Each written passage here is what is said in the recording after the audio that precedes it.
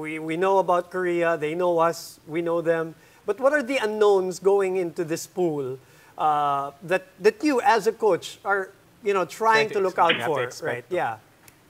Well, uh, to me, there may be a lot of unknowns, but the coach staff, perhaps not, because you know uh, New, he's he's from he's from New Zealand, man. So he's very familiar with all the players. That is true.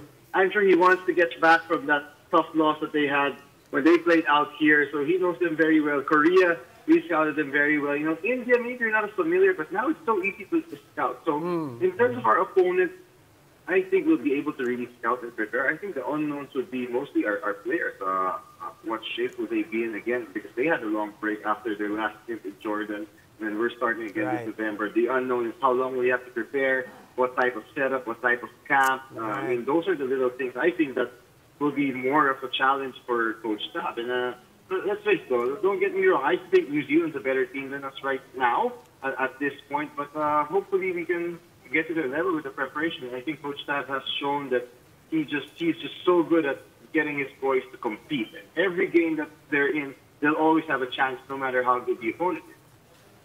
Yeah, Charles, um, but now, this 2021 right now, this is day one for us in preparation for 2023 for our Gilas squad.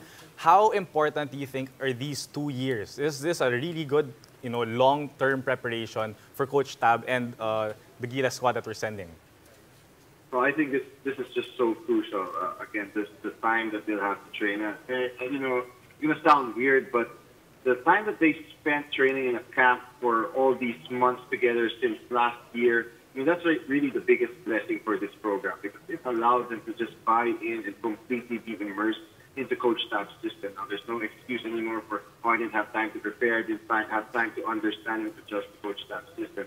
You know, they had that. And then now with this time, they can just build that. So again, if they're going to be in more of those training camp bubbles, that's going to be great. I do know that Coach Tab really wants to compete internationally in you know pocket tournaments and train abroad and have the experience to play against tougher competition, perhaps against Europe. I don't know if they'll be able to do that uh, because of the current situation of the world right now, but the fact that we get to play these top teams in the FIBA Asian tournament is really a great experience too for, for our boys or our men rather. Again, I, I think right now we're not just content to be in the World Cup. We want to hopefully do some damage, maybe make a run in this World Cup, and hopefully try to you know place really well.